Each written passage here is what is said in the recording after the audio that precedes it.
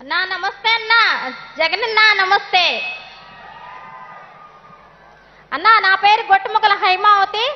నా భర్త పేరు గొట్టుముక్కల రంగారావు. నాకు ఇద్దరు పిల్లలన్నా. నేను తాడేపల్లి మున్సిపాలిటీ పద్నాలుగో వార్డు ముగ్గురోడ్డు నుండి వచ్చానన్నా. అన్నా నాది చాలా పేద కుటుంబం. నాకు పెళ్ళయ్యి ఇరవై మూడు సంవత్సరాలైంది. ఈ ఇరవై మూడు సంవత్సరాల నుంచి కూడా రైల్వే పౌరంభోగ స్థలంలో చిన్న ఇల్లు వేసుకొని ఆ ఇంట్లోనే నా కుటుంబం నా అత్తగారి కుటుంబం నా మరిది గారి కుటుంబం మూడు కుటుంబాలు నివాసం ఉంటున్నామన్నా. మేమే కాదన్నా. అక్కడ నాలాగా ఇబ్బందులు పడుతూ ఏడు వందల యాభై కుటుంబాలు ముగ్గురోడ్లో నివాసం ఉంటున్నాయన్నా. రైల్వే వాళ్ళు మూడు సార్లు వచ్చి నోటీసులు ఇచ్చారు. ఒకసారి దండోరా కూడా వేశారు. ఖాళీ చేయమని చెప్పారు. కానీ ఎక్కడికి అద్దెలకు వెళ్ళే పరిస్థితి లేదు. ఏం చేయాలో మాకు అర్థం కాలేదు. చాలా బాధలు పడ్డాం. ఎన్నో ప్రభుత్వాలు వచ్చాయి పోయాయన్న. కానీ మా గోడు మా బాధ ఎవరు పట్టించుకోలేదు. ఎండకు ఎండం వానకు తడిసాం చాలా బాధపడ్డాం. అన్న నాకు ఇంటి స్థలం వచ్చిందని తెలియగానే నా ఆనందానికి అవధులు లేవు. ఎందుకంటే ఎక్కడ గజం భూమి కూడా కొనుక్కోలేని స్తోమత లేని నాకు అటువంటిది. గుంటూరు విజయవాడ జంట నగరాల మధ్యలో హైవే ప్రక్కన లక్షలాది రూపాయల విలువ చేసే భూమిని ఈ రోజు మీరు మా అందరికి ఇస్తున్నారన్నా. మన రాష్ట్రంలో ముప్పై లక్షల మంది మహిళలకి కుటుంబాలకి మీరు ఇళ్ళ పట్టాలు ఇచ్చారన్న. ఇళ్ళ పట్టాలు ఇవ్వడమే కాదన్న అక్క చెల్లెమ్మల పేరు మీద ఇళ్ళ పట్టాలు ఇచ్చి వాళ్ళ ఆడపడుచులందరినీ ఆస్తి పరులను చేశారన్న. వాళ్ళందరి ఆత్మ గౌరవాన్ని నిలబెట్టారన్న. అన్న మాకు కొంచెం ఆలస్యం అయింది. ఆ ఆలస్యానికి కారణం ఏంటో ఇక్కడ ఉన్న అందరికీ తెలుసు. రాజకీయ కుట్రలు స్వార్థపూరిత ఆలోచనలు రాజకీయ స్వార్థంతో చేశారన్న పేదలందరికీ ఇళ్ళ పట్టాలు ఇవ్వకుండా స్వార్థపూరిత ఆలోచనలతో చేశారన్న పేదవారు నగరంలో ఉంటే నగరాలు అభివృద్ధి చెందమన్నారు.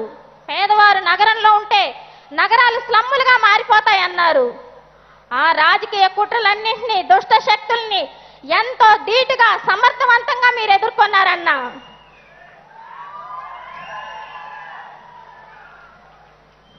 ఆ ఏం కావాలన్నా ఈ రోజు మీరు యాభై వేల మందికి ఇళ్ళ పట్టాలు ఇక్కడ ఇస్తున్నారు.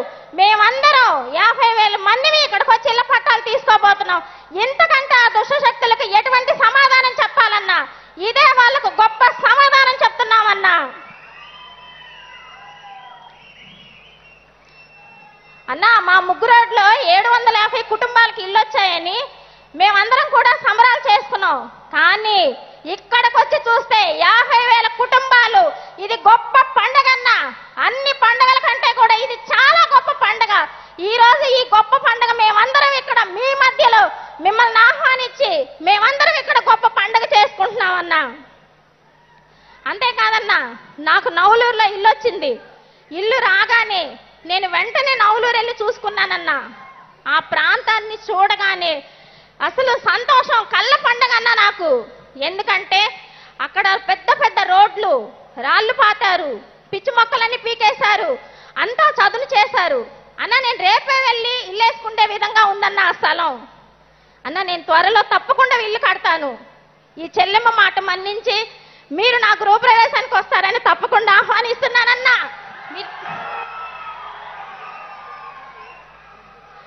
ఇది కదన్నా మా పేదలందరూ పట్ల మీరున్నారు మా పేదలకు మీరు తోడుగా ఉన్నారు ఇదే అన్నా దుష్ట శక్తులకు మేము బుద్ధి చెప్పేదన్నా మేము తప్పకుండా బుద్ధి చెప్తామన్నా మీ చల్లని చెరగని చిరునవ్వు ఇలాగే ఉండాలని కోరుకుంటున్నామన్నా. అన్నా మీరు ఇదే స్థానంలో ఉండాలని నేను మనస్ఫూర్తిగా కోరుకుంటున్నానన్నా. అంతేకాదన్నా ఇక్కడున్న మహిళలందరం కూడా మీ వెంటే నడుస్తామని సభాముఖంగా మీకు నేను మాటిస్తున్నానన్నా. ఇదే కాదన్నా రాష్ట్రంలో ఉన్న ప్రతి ఒక్క మహిళ మీ వెంటే నడుస్తుందని నేను తెలియజేస్తున్నానన్నా. మీ చెరగని చిరునవ్వు ఇలాగే ఉండాలని కోరుకుంటూ మీరెప్పుడు ఆయుర ఆరోగ్యాలతో చల్లగా ఉండాలని ఆ దేవుణ్ణి ప్రార్థిస్తూ సెలవు తీసుకుంటున్నానన్నా. జై జగన్! జై జగన్! ధన్యవాదాలు. ఎన్టీఆర్ జిల్లా నుంచి మరో లబ్ధిదారుల స్పందన.